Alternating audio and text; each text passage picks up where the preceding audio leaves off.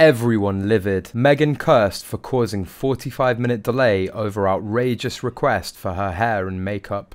How much lower can Harry and Meghan go? Meghan Markle and Prince Harry joined Prince William and Kate Middleton for the first time in their public walkabout outside Windsor Castle on Saturday. However, the foursome's reunion was reportedly delayed due to the Duchess's request. The group was expected to arrive at 4:30 p.m., but were late and showed up at 5:15 p.m. Royal expert Daisy McAndrew spoke on Wednesday that it was actually Markle who stalled the group. Markle reportedly requested that she needed to have her hair and makeup done before she stepped out on the long walk at Windsor to view the floral tributes and meet the crowd. McAndrew added that the Duke and Duchess of Sussex needed time to change into formal morning attire, suggesting that Prince William's invite was at the last minute. The Duke and Duchess of Cambridge were expected to arrive at 4:30 p.m.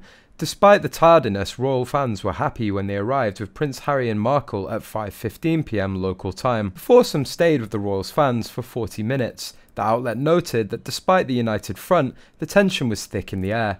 Some fans felt that Middleton barely acknowledged her sister in law during the reunion. The outlet noted that the new Princess of Wales stared icily at Markle before they waved to the crowd and separated. William, Prince of Wales, and Catherine, Princess of Wales, were reunited with the Duke and Duchess of Sussex again for Queen Elizabeth II's lying in state. During the procession of the Queen's coffin to Westminster Hall, photographers had their cameras zoomed in on the windows of the cars occupied by royalty. Queen Consort Camilla and Kate Middleton rode together, with Meghan Markle and Prince Edward's wife, Sophie Countess of Wessex, following in a separate vehicle. Meanwhile, Prince William and Prince Harry walked behind their grandmother's coffin, with other members of the royal family, including their father, King Charles III, Prince Edward, Prince Andrew, and Princess Anne. Royal rankings forced the Duchess of Sussex to take a separate vehicle from Kate Middleton in the procession transporting Queen Elizabeth II's coffin from Buckingham Palace to Westminster Hall. They stood silently inside the Great Hall, eyes cast down in sorrow,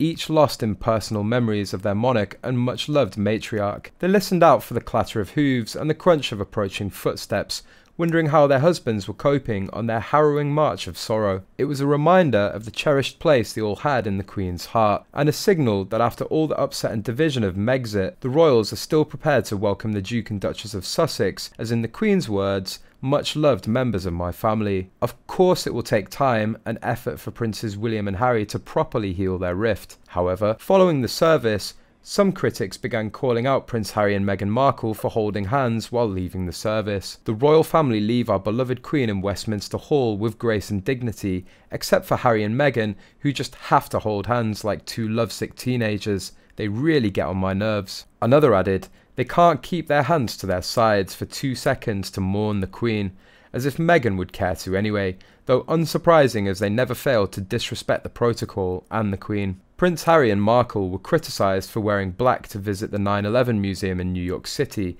despite that being a common practice, while observers praised Middleton for wearing a bright pink coat during her previous trip.